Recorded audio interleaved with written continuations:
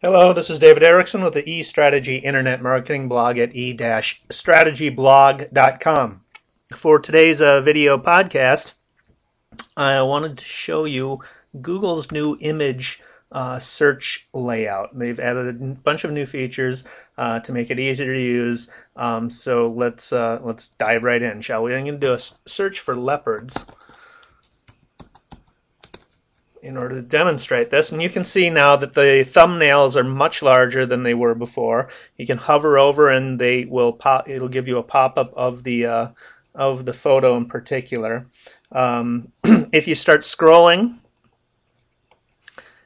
you'll notice there's page numbers that come up. So it is giving you, and you'll notice that there's a lot of room here for scrolling. So they are not uh, they are not paginating these results they're giving you a full page of results that you can scroll down uh, very easily, so you don't have to go from page to page. You can also use the uh, some keyboard keyboard shortcuts. So I'm going to hit hit the page down button, and I can just go page down by hitting the page down button one after another.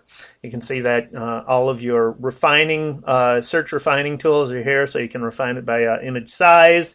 Uh, you can refine it by what types of photos or graphics. Um, you can choose your colors that you want. You can show size, standard sizes. You can show sizes. Um, so really, they've really made it a lot easier to use here. Uh, I'm going to show you how uh, the hover works. If you uh, hover over it, it pops up, gives you some details about the photo, and then if you click on it, it will bring you to the page from which it found uh, the photo and uh, have that hover page still placed in front of the page as well. So if you click on that, then it will bring you in full context and you can see it uh, as it appears on the actual page from which the search result was pulled. So let's go back here, and uh, the the other thing that they've sort of added on here is um, well, they haven't added on. It's sort of built into the algorithm. Is they have uh, uh, technology that understands uh, photographs so well that uh, my search for leopard is uh, segregated into their related searches of types of species of leopard. Of leopard.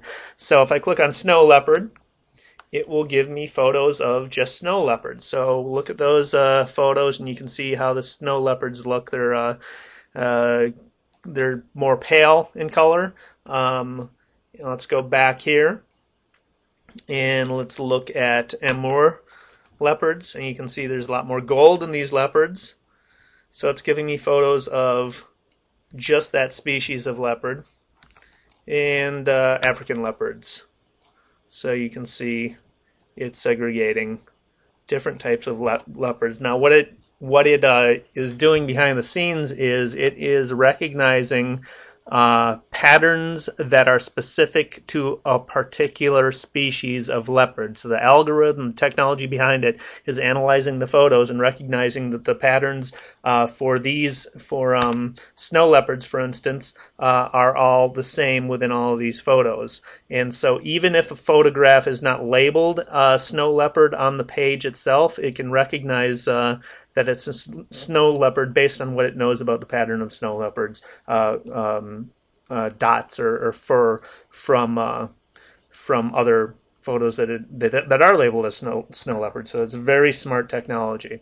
Um, so let's go back here, and lastly, they've added on image search. So Google image search ads, you can actually place ads now within the within the image search results that include um, photographs or graphics uh, in the ad itself. So this is uh, this is let's try a search for guitars and see what we get here. That's perfect. So product searches, you're going to be able to um, be able to um, feature photographs of the actual product within your ad and when people are searching for those types of images. And typically, so if you're doing, if I'm doing a search for uh, guitars, uh, part of my research is going to is going to be image searching. I want to see what my guitar is going to look like, or the types of options I have and what they look like. So, um, very good. Uh, another ad- advertising uh, uh, option by Google. So there it is. Google's new image search. Very nice.